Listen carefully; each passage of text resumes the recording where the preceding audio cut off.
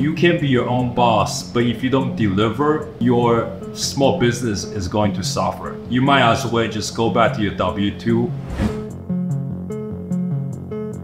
Hey, I just wanted to say that Kevin's mic did not actually turn on for the interview, so it's not going to be quite 100% perfect, but the value and the information he's providing is still there. It was still a great conversation, and in future videos, that will not be a problem, hopefully. So if it's too big of a deal, let us know. We can always reshoot it. Thank you. Hi, this is Kevin, and I'm here with my interviewer, Ryan, and we are doing it a little bit differently today. In the past, it's me right in front of the camera having a monologue with the camera lens and it's getting me a little bit uncomfortable. I don't have the interaction that I typically get when I speak to a group of people. So we're doing it differently this time where Ryan actually created a prepare a set of questions ahead of time and he's going to ask me these questions so we can have some interaction there. And uh, so we're just gonna free flow, just freestyle this, and he's gonna pick my brain. I'm just gonna give him whatever that comes to my mind.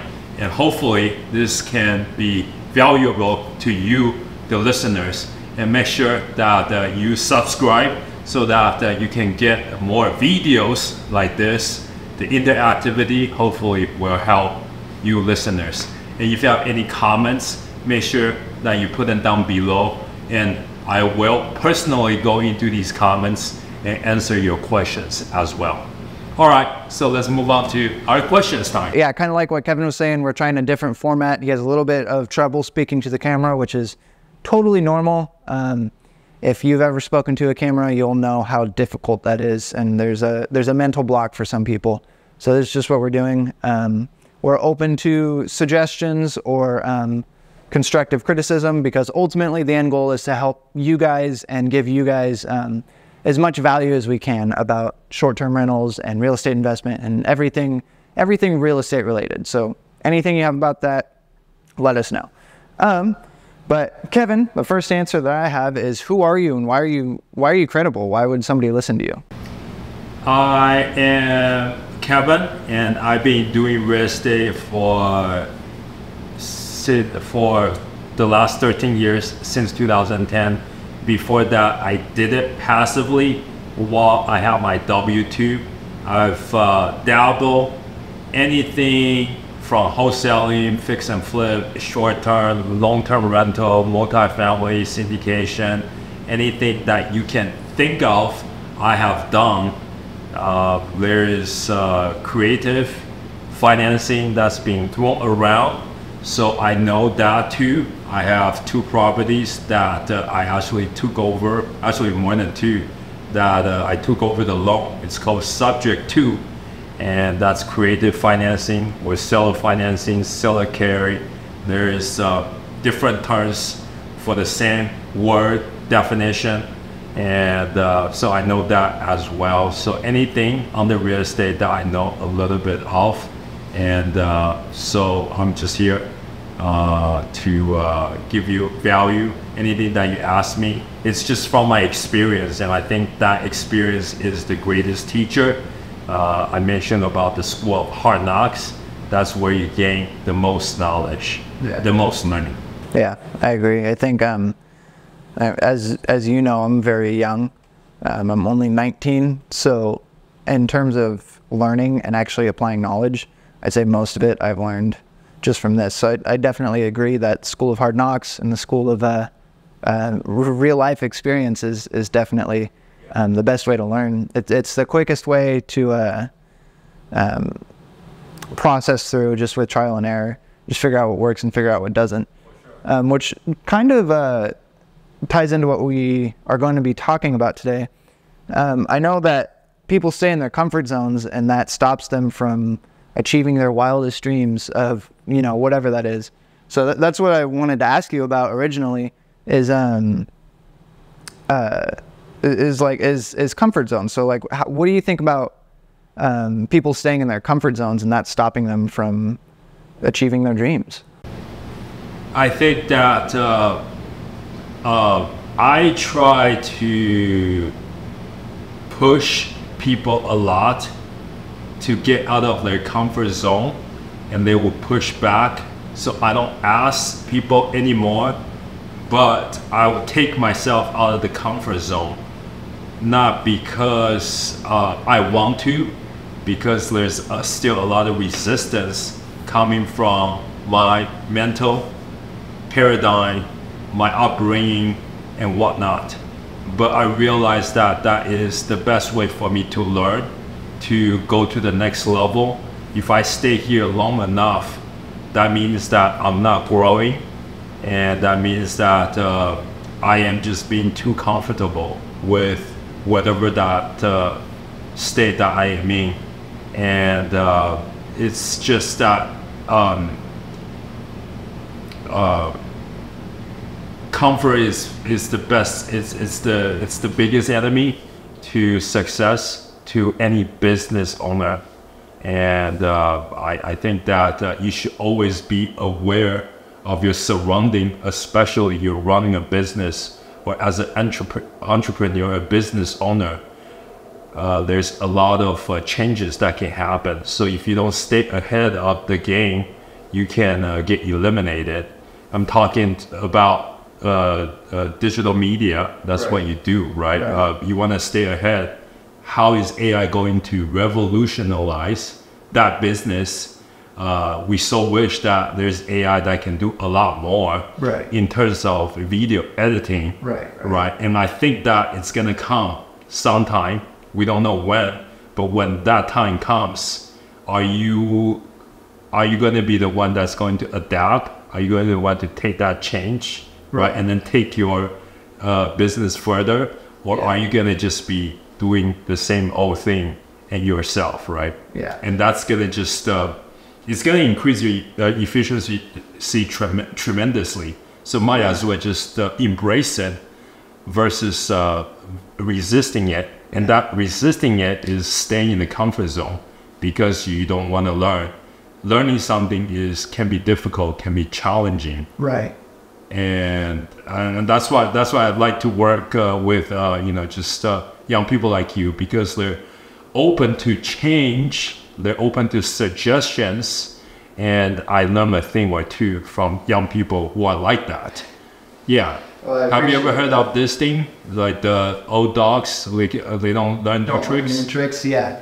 That's uh it's a big thing I've noticed and especially like with uh with with social media, a lot of people are tied to like um like film, right? They'll shoot for like as if it's like something that's going to go on Netflix or something for um like streaming, which don't get me wrong has its place, but ultimately I think people aren't um really accepting of the fact that things are changing. Like YouTube for example, a lot of um older people still see YouTube as like this like oh that's what that's what little kids do which is understandable because that is what a lot of um, little kids do but I think ultimately it's it's such an undervalued asset and so many people are missing out on that because they're not able to um, like you were saying get out of their comfort zone and adapt to new change.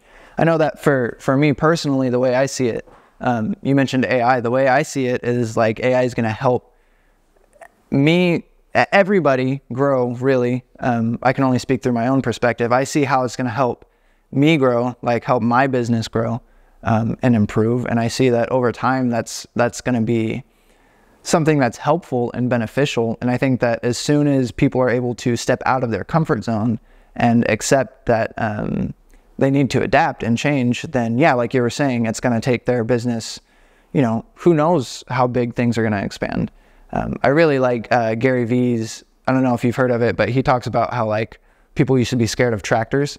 Have you heard this? No. So he um, he explains how people used to complain about how tractors were taking away jobs, which isn't wrong, um, but they were also making the jobs that they did have way more efficient.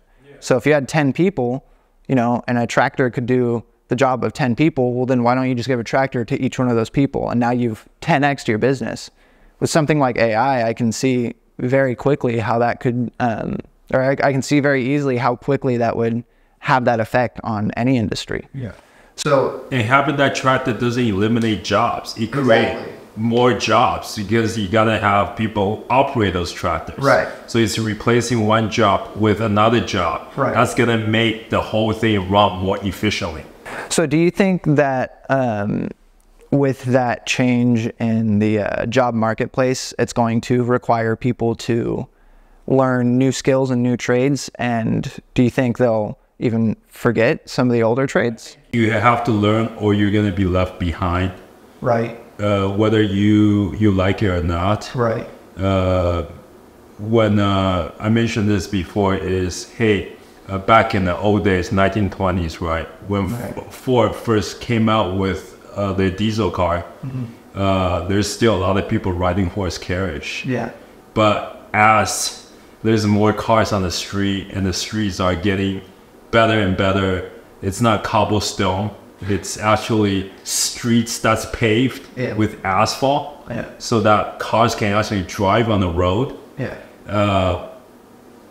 you can't ride a horse you can't ride on horse carriage anymore right, whether you like it or not uh, Right. you just have to buy a car and they're just getting it getting it cheaper and cheaper almost like the revolution that we have right now like ev is taking over whether you like it or not Yeah. a lot of these car manufacturers right, that on diesel uh, they, they resist the change for so many years and now they have to make a move or they're gonna get out competed you know, Right. be be left behind so they're, they're, the adoption is coming and like just this wave of ai it's, it's coming too a lot of older people over 50 they have no freaking clue what ai is about. Right. and there's also ones that are embracing the technology. And if you embrace it it's gonna like save so much of your time.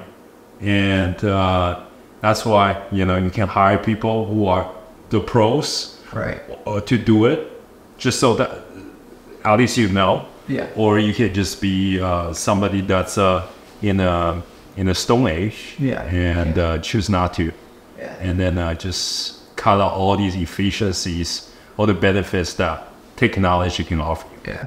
I found, well, with technology specifically, I found that it's not, at least in my field and from what I know, keeping in mind that I'm very young and don't know very much, um, what I have seen is it's not really like at the level where it's completely replacing people. So, like, to kind of put it into perspective, I had one client who uh, he needed a, a a YouTube banner. You know, like when you go on the page and there's the the it's like their face and it says, "Oh, follow me here."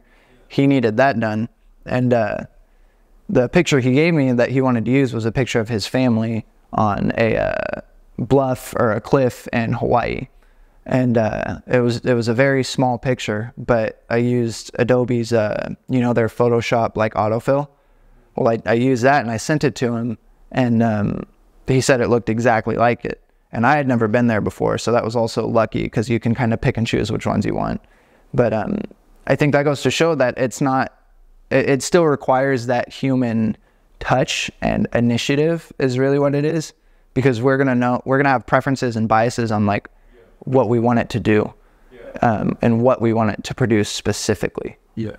Well, AI can only do so much. Right. There is your characteristics, personality, your uh, authenticity, Right. right? That AI cannot capture. Yeah. So For now. uh, for now, right? Yeah. Uh, but I, I do see a hybrid. Like we working with AI, and to produce something that's just greater than the uh, the the uh, the parts of the sum. Oh, the, the sum of the parts is greater than the whole. Some of the parts is greater than the whole. Right. Yeah. So um, there's there's definitely that cooperation, and uh, I, I just can't emphasize enough the importance of that cooperation. Right. And you might as well just embrace it, learn it. It's almost like, hey, um, when internet came out, uh, emails, right, a browser, um, it's like you cannot not use email. Right. Yeah. That. I was a little before my time, but um, And for you, for you, it's like how it's always been. It's it's like how how do you live in Right. an age where there's no emails? Well, now, I mean, from my perspective, email is even like It's still to this It's not day people as use. Yeah, people use still fax use it. machine.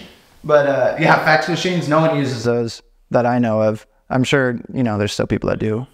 But uh, yeah, but emails are like that's like fr- from what I understand, that's like the equivalent of what writing a letter used to be. Like that's the quote formal way to reach out to somebody. I know that like with you, I reached out on Instagram just because it's easier for me to to reach a bunch of people that way.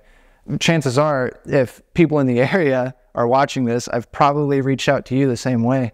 Um, there, there's actually been a couple times where I've connected with somebody in real life, and then I check, and I had already messaged them like several months before. Um, nice. And that, yeah, no, Sowing the seed. Huh? You're sowing the seed. yeah, it you know it uh it, it's just a new way of doing things.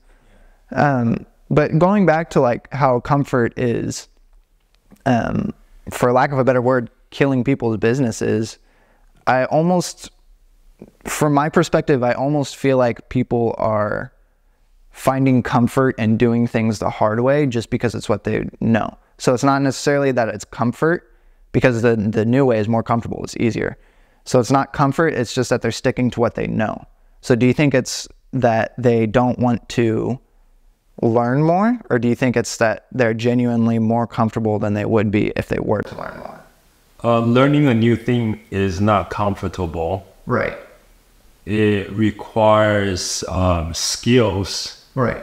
uh, that uh, you uh, you must have to acquire uh, a, a, a, a new learning uh, skill, Right.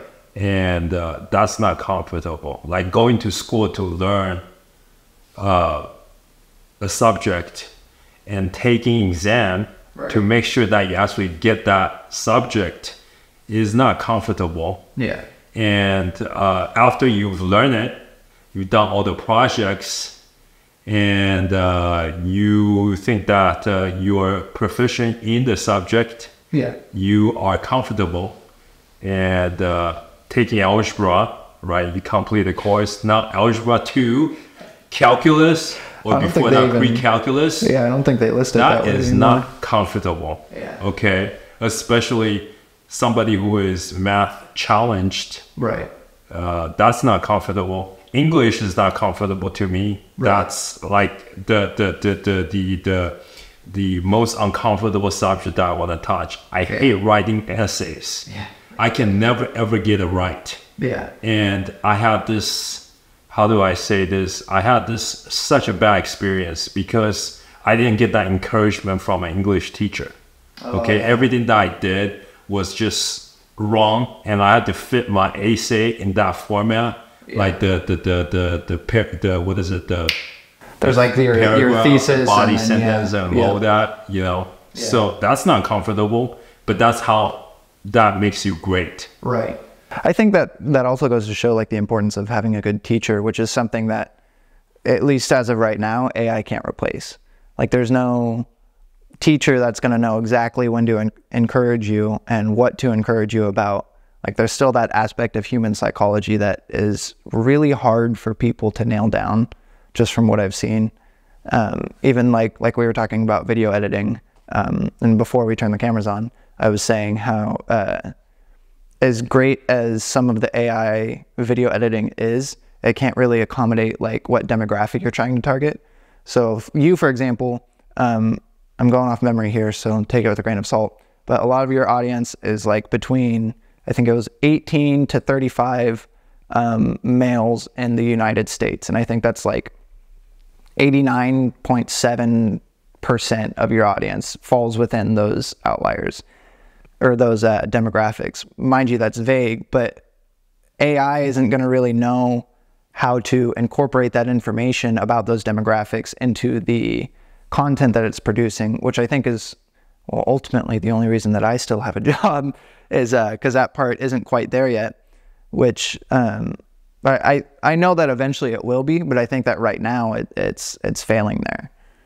Does that make sense? Yeah. So it's like there's that that aspect of human psychology and that aspect of um, positive and negative negative um, rewards and punishment or consequences, I should say, that aren't really tied into it yet because there's no there's no moral ground, which is a whole nother thing that I'm sure we could get into, and I'm sure we probably will some other time. Um, but right now, I want to ask, like, to the person who's watching this, who is hearing what we're saying and realizing, like, hey, I'm stuck in my comfort zone, and they're right. I would learn more if I got out of it. What would you say to that person so that they can start taking steps to get out of their comfort zone? Uh, I say that uh, imagine somebody is putting a gun to your kid's head. Wow. Imagine that uh, if you don't do this thing, that you're gonna be live on the street. That is how I start my day. I don't I don't look at how much money I have in the bank account. I look at uh, I start my day with zero in the bank account. Yeah. And I say, hey, I must prospect. So I Grant Cardone has this question, who's got my money? And he asks that question every single day. Who's got my money? Ryan, do you have my money? Sure. If not, if not, I'm gonna go to find a client who's got my money. I'm gonna do sales to make sure that that person pays me. It can be this seller, that seller, whoever. I'm gonna prospect like crazy so I can get that money in the bank. I get enough of that money so I can do whatever I can do whatever I want with whoever I want, wherever I want, and that's wealth. Right. Do you think that? Um, well, first I should say that I, I I partially agree with you that wealth is having a lot of money. Um, I think a lot of people like demonize that and say it's a bad thing to seek out money, um, specifically to generate a lot of it. I don't really see it that way. Um, of course, there's exceptions, like if you're enslaving people to get more money, different story, you know. Um, but my point, Money can magnify uh, the person's uh, vices or strengths. So if you're if you're a good person, you can do a lot of good without money. But if you're a bad person, you can also do a lot of harm Right. with a lot of money. Right. Well, so that kind of ties in what I was going to ask, um, because ultimately it's not money that makes or breaks somebody; it just magnifies what's already there. I, I know that's something that we uh, that's a viewpoint that we share. Um, do you think that it is worthwhile to pursue money as a sort of vehicle to get you out of the environment that you're in? Like if you're surrounded by people who you don't like, do you think it's worth pursuing money and cutting them off in the process? I, I, I see money as uh, as the means, not the goals. Okay. It's it's not. Hey, um, I. Uh, can you repeat that question? So I'm pretty much asking like do you think if you're stuck in a bad environment or not even a bad environment but just one that's not optimal to where you want to go, do you think it's worth sacrificing that in exchange for chasing wealth? So not the wealth itself but like the chase, kind of like what you're saying, chasing the means, not money as um, the goal. Yeah. So uh, I think that uh, as you continue to learn, uh, you will, uh, you will, you will, you will lose uh, people that uh, you hang out with because you're on a different level. What does that mean? When you say different level, what is that? Is that like status or class or how do you see that? Let's just say, hey, uh, I just realized I can do drugs, and people hang out with me, uh, drug addicts. Okay. go to parties all the time. I have a paradigm shift.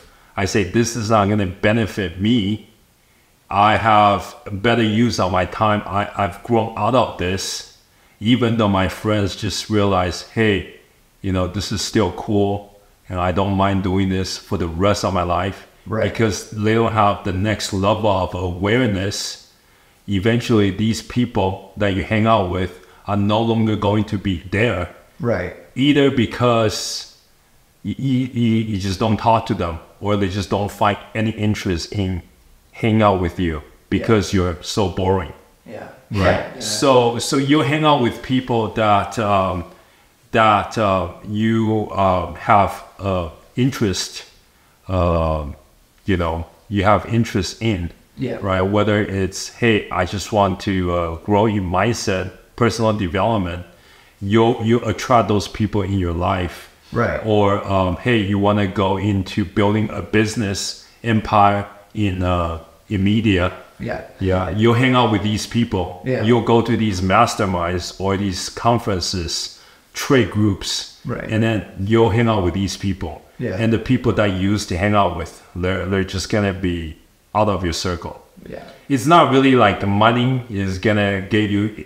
to a different crowd. It's more like as you um, elevate yourself, right, uh, you're going to hang out with different people. And then money is going to come as a byproduct of it. Okay. It's not. It's not really the end. correlation, not It's the means to the end. I see. That makes sense. Yeah, because there's, I mean, I'm, I hate to keep bringing up that I'm young, but it, it keeps coming up that it's relevant.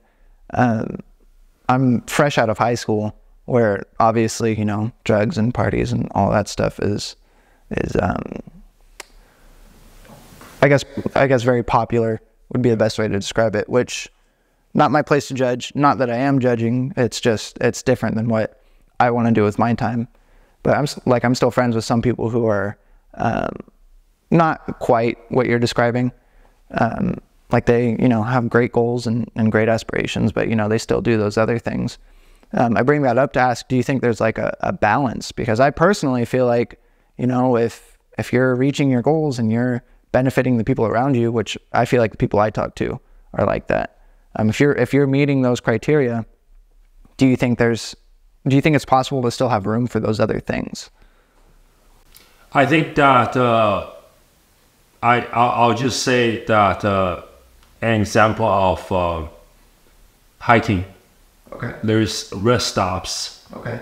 There is uh, checkpoints or milestones. Okay. and you reach a milestone, it's okay to stay there for a while, chill, right, and have a good time. And it's up to you if you want to continue that journey, go to the next milestone. And hopefully, your answer is going to be yes, because you know at the end of this, it's going to be a gorgeous, scenic waterfall waiting for you Right. okay uh, at the end of this this two mile i don't know 10 mile trail right so uh, you can get tired. You just say you choose to stay here or you choose to turn back. It's okay. Nobody is judging you. Right. you run your own course your journey. Right. and everybody's course journey is different. Some want a lot more and some do not. Right. some are okay staying in their comfort zone. For me, it's just me that I want to always grow Okay. because I realize that uh, that's that's what uh, drives me. That's what makes everything so interesting for me. And I do believe that uh, if uh, if you're not growing, you're gonna get eventually left behind. It's not Yeah. up to you. So I would encourage people to do it. But if you don't, maybe a state job is is is what is okay with you, Right. and that's totally fine because because we need figure these people. We need these people. Yeah. We need people who are entrepreneurs, business owners, but we also need these W two. They're okay with jobs, Yeah. but you also need uh, creators of those jobs, Yeah. right? Well, I think especially nowadays, like it's almost, it's almost like a, a, a noble cause to not um, be like a business owner or an entrepreneur because it's very trending right now. Um, and I think, like, I, I definitely tip my hat to people who, you know, still are working in a W 2 and still doing a quote normal job. I think are just as important, if not even more important, to like the foundation of our society because it's not. Wow, that sounded really like uh, edgy, I guess. Um, it's. Hey. I go ahead. Can I say something? Yeah. I say I agree with you 100%. Just because that um, don't don't hide the fact that you cannot listen to a to your boss or you cannot deliver uh, in the in the excuse or disguise of, hey, I want to be an entrepreneur and create job. You can be your own boss, but if you don't deliver, your small business is going to suffer. You might as well just go back to your W two and do a great job. Yeah. Uh, some people quit because uh, they just cannot handle uh, the the demand from their uh, superior, uh, and then don't don't use the excuse of hey I just want to do my own venture and blah, you know just so that uh, you know. Uh, I can uh, be a provider of job opportunities to other people. Right. You're you're actually doing yourself a disservice. It's not. It's not. I, I will even encourage people, right? Like if I were to start this all over again, I would have one foot in a full-time job, another foot in my si- side hustle. Yeah. Until I think that the side hustle can potentially be a business, Yeah. and that requires so much discipline on my part Yeah. to make it so. I'll probably work harder than anybody who's got a full-time job Right. because I have two foot in each of these, right, to make it happen. Yeah. So before you can prove yourself, stay in that job uh, until that your side hustle can potentially turn into a business, and then you can tell your boss, "Hey, sayonara, it's Yeah. time for me to go because I have something going on here, and I really think that this is gonna be something." I'm I not saying that it's you, but it looks like just from the discipline, your the character, personality, right, your your work ethic, that uh, you're you're not you're not really a W two employee. I appreciate You have that. your own thing going on. I think this is gonna turn out to something that's gonna be so wonderful. Thank uh, you. you don't really need somebody to tell you to do this and that. That's really just boxing your creativity. Very Uh, you have so much to offer, and uh, I mean, um, I think the service, yeah, you provide is going to impact a lot of people. Thank you. Yeah, um, it's funny you mentioned how having one foot in like a full time job and one foot not. I couldn't do that. I tried with like a, having a part time job until I built up enough, and I got like And that's a good thing too, Yeah. because that means you're so f- focused on this on this venture. It's your baby. yeah, How can you take your baby part time? Yeah. there's no way. yeah. No, I got. Um, I, there was a minute where I was trying to save up. My goal was ten thousand dollars because I figured if all else fails, I can live off of ten thousand because I have very low overhead. Like I'm still living with, uh, not my parents, but my girlfriend's parents, and it's like I'd be okay. Um, but what actually happened was I got probably about 300 and then went, well, if I don't put everything into this, there's no way. Which, by the way, don't do that if you're somebody who's in that position because it's not the way you're supposed to do it.